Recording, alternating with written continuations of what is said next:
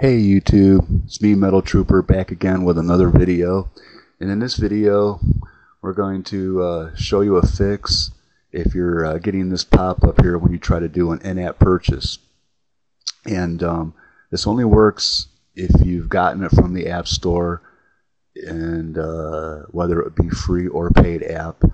And of course um, you're only going to have this problem this fix is only if you're jailbroken. So I'm going to show you how to do that real quick um, in researching this before I even started doing this video, I noticed that there was a, a one video out that uh, suggested like deleting AppSync and stuff of putting that back in, but that seemed like a difficult thing, and this is a lot easier of a fix. So we're going to show you how to go ahead and um, and do that. So um, I got a, of course I wanted to do an in-app purchase on this app right here, and of course I got this pop-up saying that uh, something about a sandbox environment. So we're going to just click OK. Click OK. And then the first thing that you want to do is exit out of the app.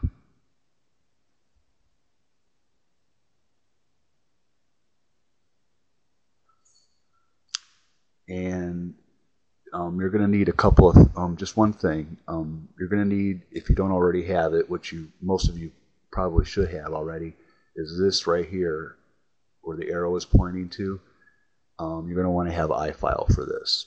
So the app that you're trying to do the in-app purchase on, what you want to do is go ahead and delete that app first thing.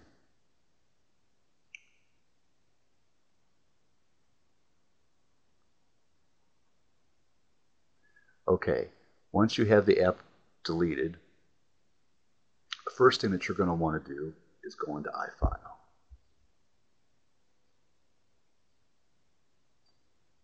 And uh, credit for this video, actually, um, I was trying to do this in-app purchase and was having problems, and it was pointed out to me by uh, 667 over on Twitter, who um, actually brought it to my attention that um, this was posted over on the basement forum uh, by the owner, Jim A6636. So we'll give him some credit, but the actual credit of this fix goes to the uh, XSellize repo, and I will leave a description link down below um, for you guys to check out their forum if you want to go over there and sign up. And the guy that uh, that uh, brought up the fix, his name is Flubby32, so all props go out to him. So now that we got that out of the way, let's get into this.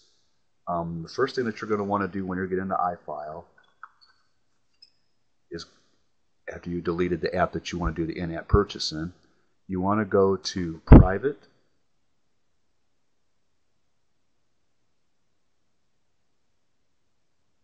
var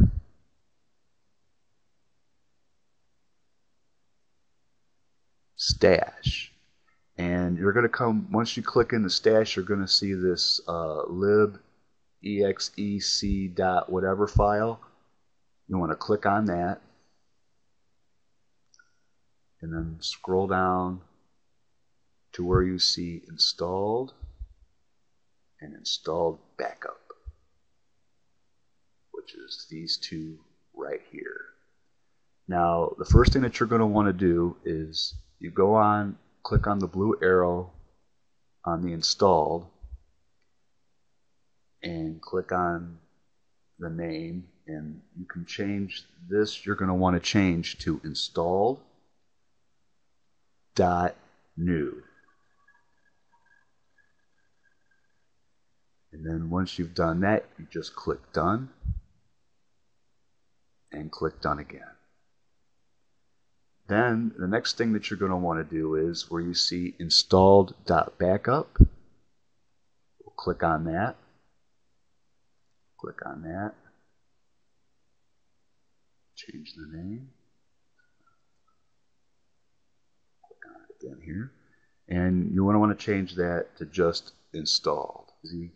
But um, that's what you're going to want to do and then click Done.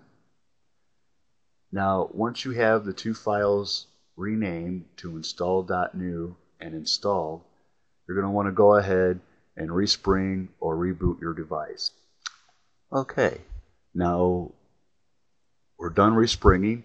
And now the next thing that you want to do is you want to go back, go into the App Store, and re-get the app that you want to do the in-app purchase in.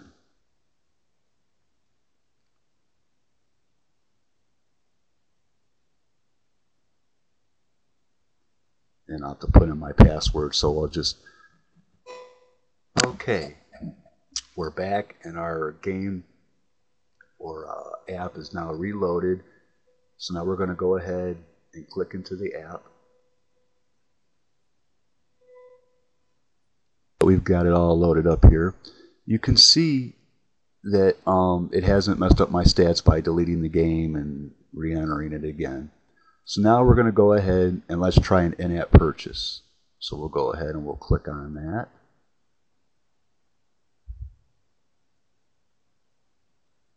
And that takes us up to the page now. Uh, for this video, we're going to go ahead and I'm going to just uh, try to buy this uh, 140 street credits here for $9.99. So I'm going to click on buy. And of course, I'm going to get a confirm your in-app purchase. Do you want to buy on the street clear? We'll click buy.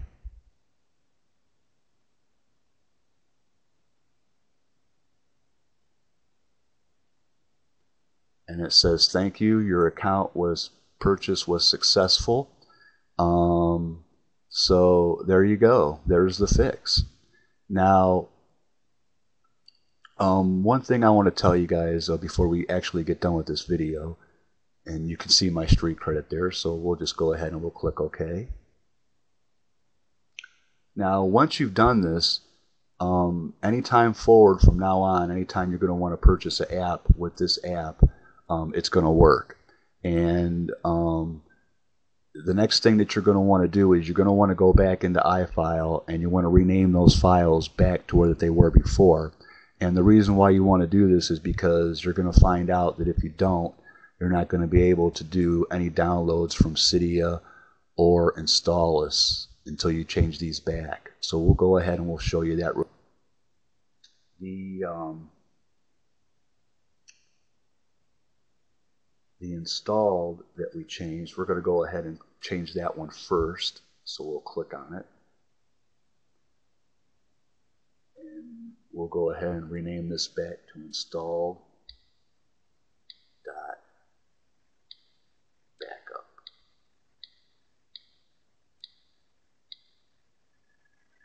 once you have that changed, we'll click done. We'll click done at the top. And then the one that you changed to install.new, we'll click on that. That. And then um, we'll change that one back to installed.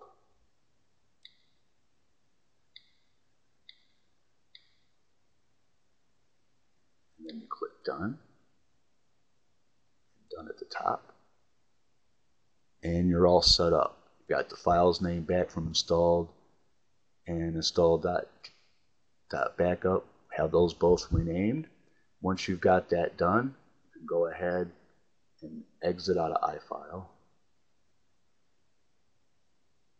And then you want to go ahead and either uh, respring or reboot your device again. And we'll bring it back after this gets done. Okay, then after that's done um, respringing, you're all set. You should be able to be able to um, download again from Cydia and Installous without any problems. So you just got to remember that once you change the files in iFile, um, that you make sure that you change it back after you've made the purchase. And like I said before, once you've made the purchase in the app, and you, even after you changed it back, um, if you use the same app, it will always work. You still should be able to do the purchase without having to do that again and then um, any new app that you download, um, you're going to have to go through the process again that we just showed you how I just did this one to um, get the in-app purchases to work again. So um, hope this video was helpful for you. This is Metal Trooper saying catch you on the flip side. Later.